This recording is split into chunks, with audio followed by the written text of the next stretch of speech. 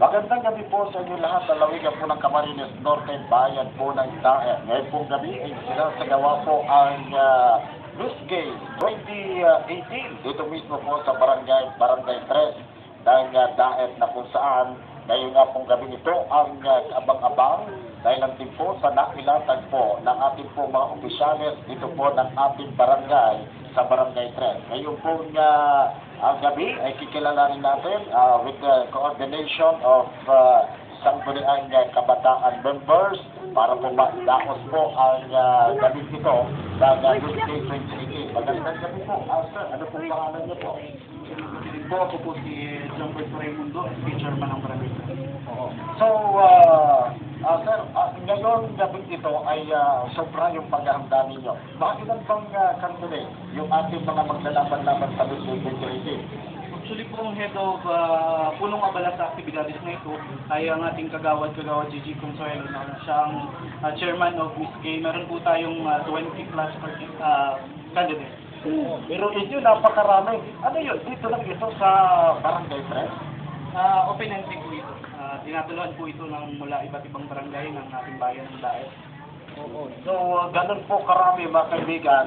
Ah, kaya aabangan po talaga ninyo. Ano yung abang-abang dito at mga product gadgets natin, mga yan? Uh, abangan po natin yung mga ating kagalang-galang ng of Judges na mula pa sa, ah, sa kanilang ano, kakayahan at kagalingan na maghusga sa ating mga candidates. At siyempre po yung mga uh, labas-pasok na ah, ah, presentation ng ating uh, candidates ngayong gabi. At sabi nga natin, yan ang naaba. Magkano ba ang entrance fee? Pagdating naman sa entrance fee, yan. Sabi, parang natatakot sa big entrance fee. Actually po, 10 piso lang po ang entrance fee, kaya po, hindi na po kayo ngayong gabi. So, sa halagang 10 piso mga kaibigan, sasaya ka. Kasi uh, kapag sinabing Miss Gay, talagang masaya yung uh, ganitong uh, okasyon. And then yung mga tipo niya, salita nila, yung mga kilo, di po ba?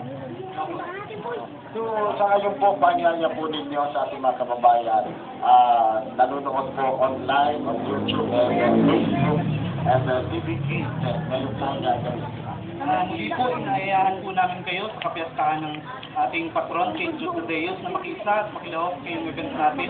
Uh, itong Miss Gay 2018, dito sa Barangay 3, Barangay Hall.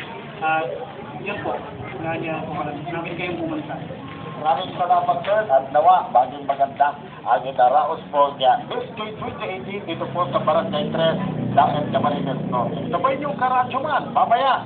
At uh, abangan po nyo live sa aking Facebook live account at Christopher Caparlet.com at YouTube on RMA News Daet. Hanapin niyo po at mapapanood niyo po ang ating This Day 2018 dito mismo sa Barangay 3, Daet Camarines Norte. Yung karadyo man, Christopher Cabarle para po sa RMN News TV.